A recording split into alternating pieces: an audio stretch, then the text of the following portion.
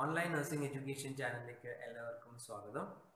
Foundations of നഴ്സിംഗിന്റെ മൂന്നാമത്തെ ക്ലാസ്സാണ് ഈ വീഡിയോ. ഈ വീഡിയോയിൽ state and central government nursing qualifying എക്സാമിനേഷനുമായി ബന്ധപ്പെട്ടിട്ടുള്ള ചോദ്യങ്ങളും വരാൻ സാധ്യതയുള്ള ചോദ്യങ്ങളുമാണ് ഇതിൽ ചേർത്തിട്ടുള്ളത്. പത്ത് ചോദ്യങ്ങളും അതിന്റെ ഉത്തരങ്ങളും അതിലേക്ക് വരാനുള്ള കാരണങ്ങളും ഈ വീഡിയോയിൽ ഉള്ളടക്കം ചെയ്തിട്ടുണ്ട്. നമുക്ക് ക്ലാസ്സിലേക്ക് പോകാം. ഈ ക്ലാസ്സിലെ ആദ്യത്തെ ചോദ്യം question number twenty one tubes and catheters are disinfected with option A glutaraldehyde option B sodium hypochlorite option C formalin option D autoclaving എന്തെല്ലാമാണ് ഇതിന്റെ ഓപ്ഷനുകൾ എന്ന് വിശദമായിട്ട് നോക്കാം. ഗ്ലൂട്രാൽഡിയൈഡ് എന്ന് പറയുന്ന കെമിക്കൽ ഒരു കോൾഡ് സ്റ്റെറിലന്റ് ആയിട്ടാണ് കൺസിഡർ ചെയ്യുന്നത്. ഈ ഗ്ലൂട്രാൽഡൈഡ് ഉപയോഗിക്കുന്നത് ഹീറ്റ് സെൻസിറ്റീവ് ആയിട്ടുള്ള medical and surgical equipments disinfect ചെയ്യാനും ക്ലീൻ ചെയ്യാനുമായിട്ടാണ്.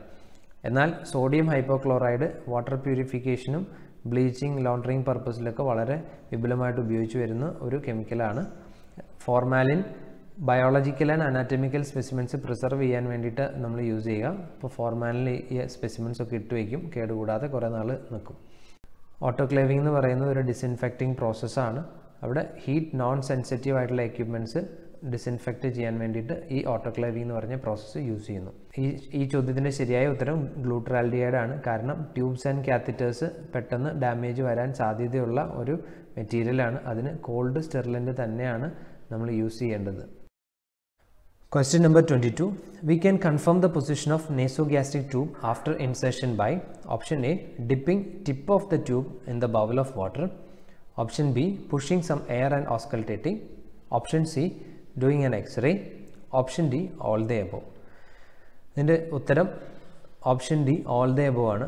കാരണം പല കൺഫർമേറ്ററി മെത്തേഡ്സ് ആണ് മുകളിലെല്ലാം പറഞ്ഞിട്ടുള്ള ഓപ്ഷൻസ് നമ്മൾ എൻ ജി ട്യൂബ് ഇൻസേർഷന് ശേഷം എൻ ജി ട്യൂബിന്റെ ടിപ്പ് നമ്മൾ ബൗൾ ഓഫ് വാട്ടറിൽ ഡിപ്പ് ചെയ്ത് നോക്കണം.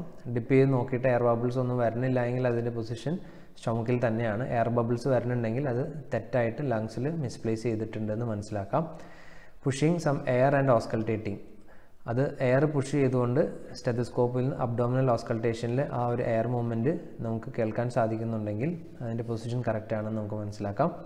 എക്സ്റേ എടുക്കുമ്പം എക്സ്റേയിൽ അതിന് എൻ ജി ട്യൂബിന്റെ ആ ഒരു ലൈനിങ് നമുക്ക് ഐഡന്റിഫൈ മാർക്കബിൾ ആയിരിക്കും. ആ ഒരു മാർക്ക് നമുക്കതിന്റെ കൺ പൊസിഷൻ കറക്റ്റ് ആണെന്ന് മനസ്സിലാക്കാം. ഇതുകൂടാതെ നമുക്ക് എൻ ജി ട്യൂബിൽ നിന്നുള്ള സെക്രീഷൻസ് ആസ്പിറേറ്റ് ചെയ്തെടുത്തിട്ട് അതിന്റെ പി എച്ച് ടെസ്റ്റ് ചെയ്ത് നോക്കുമ്പം നമുക്കറിയാം അബ്ഡോമൻ പി എച്ച് അപ്രോപ്രിയേറ്റ് ആയിട്ട് നമുക്കതിൽ മാർക്ക് ചെയ്ത് കിട്ടുന്നുണ്ടെങ്കിൽ അല്ലെങ്കിൽ ആ പി എച്ചിൽ കളർ വേരിയേഷൻ ഐഡന്റിഫൈ ചെയ്യാൻ സാധിക്കുന്നുണ്ടെങ്കിലും അതിന്റെ ലൊക്കേഷൻ കറക്റ്റ് ആണെന്ന് നമുക്ക് മനസ്സിലാക്കാൻ സാധിക്കും. അതുകൊണ്ട് തന്നെ ഈ ചോദ്യത്തിന്റെ ഉത്തരം all the above option D ആണ്.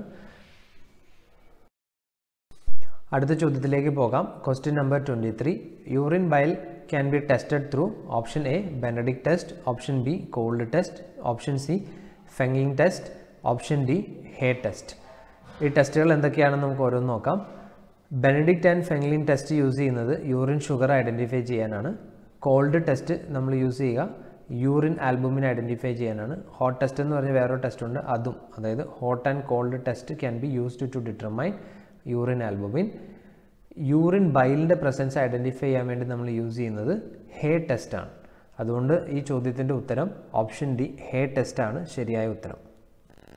Question number twenty four the clinical manifestation of hypokalemia includes option A spiky T wave option B prolonged P R interval option C positive Chvostek sign option D muscle weakness muscle weakness paralytic ileus abdominal distension ST wave depression and abnormal U wave ഇതെല്ലാം ഹൈപ്പോകലീമിയയുടെ characteristic ഫീച്ചേഴ്സാണ് എന്നാൽ spiky T വേവും prolonged P R ഇന്റർവലും ഹൈപ്പർ കലീമിയയുടെ സിംറ്റംസാണ് positive Chvostek sign indicate ചെയ്യുന്നത് ഹൈപ്പോ കാൽസീമിയാണ് നമുക്ക് തന്നിട്ടുള്ള ചോദ്യം ഹൈപ്പോ കലീമിയയുടെ ക്ലിനിക്കൽ മാനിഫെസ്റ്റേഷൻ എന്താണെന്നാണ്.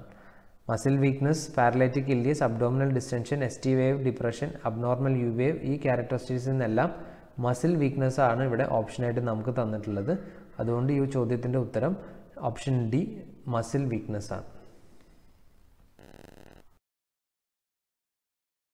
Question number 25. Infection occurred following a treatment modality or a procedure is known as option A concurrent infection, option B nosocomial infection option C iatrogenic infection option D fomite ഇൻഫ infection എന്താണ് ഓരോ infection നോക്കാം. ഒരേ സമയം ഒന്നിൽ കൂടുതൽ infection ഉണ്ടാകുന്നതിനെയാണ് concurrent infection എന്ന് പറയാം. ഫോർമൈറ്റ് ഇൻഫെ ഫോർമൈറ്റ് infection എന്ന് പറയുന്നത് ഒരു കണ്ടാമിനേറ്റഡ് ഇനാനിമേറ്റ് ഒബ്ജക്റ്റിൽ നിന്ന് ഒരു ഇൻഫെക്ഷൻ കിട്ടുമ്പോൾ അതിനെ ഫോർമാറ്റ് ഇൻഫെക്ഷൻ എന്ന് പറയുന്നു.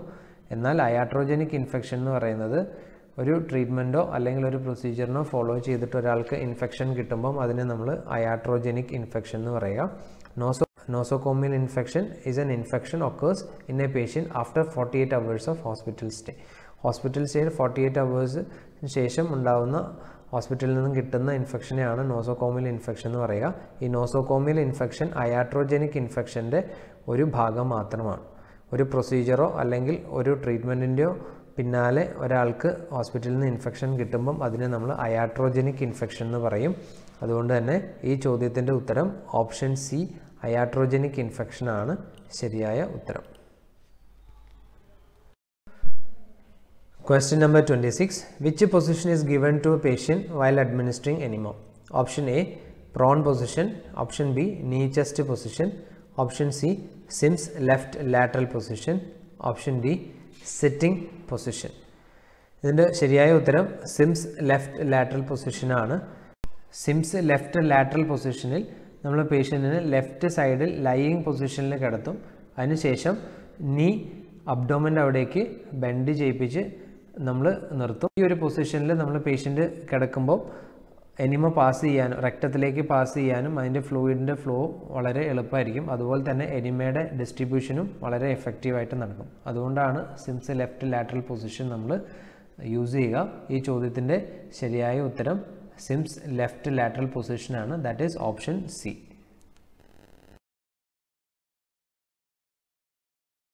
Question number 27. Length of insertion of nasogastric tube is measured from option A tip of nose to earlobe then to xiphoid process. Option B tip of nose to xiphoid process. Option C tip of nose to forehead and xiphoid. Option D tip of nose to stomach. ഈ ചോദ്യത്തിന്റെ ശരിയായ ഉത്തരം tip of nose to ear lobe then to xiphoid process എന്നുള്ളതാണ് N G tube ഇൻസേഷന് മുമ്പ് അതിന്റെ length measure ചെയ്യാൻ വേണ്ടിയിട്ട് നമ്മൾ യൂസ് ചെയ്യുന്ന മെത്തേഡാണിത് ടിപ്പ് ഓഫ് നോസ് തൊട്ട് ഇയർ ലോബ് വരെയുള്ള ഡിസ്റ്റൻസ്. ആ ഇയർ ലോബിന്റെ അവിടുന്ന് വീണ്ടും സിഫോയിഡ് പ്രോസസ്സ് വരെയുള്ള ഡിസ്റ്റൻസ് ആണ് നമ്മൾ ഒരു അപ്രോക്സിമേറ്റ് ലെങ്ത് ആയിട്ട് മെഷർ ചെയ്യുക. ഇരുപത്തി എട്ടാമത്തെ ചോദ്യം. While wearing glove first glove needs to wear in a dash hand option A any hand option B dominant hand option C non dominant hand option D always right hand gloving ചെയ്യുന്ന സമയത്ത് ആദ്യത്തെ glove ഏത് കയ്യിലാണ് നമ്മൾ ഇടേണ്ടത്?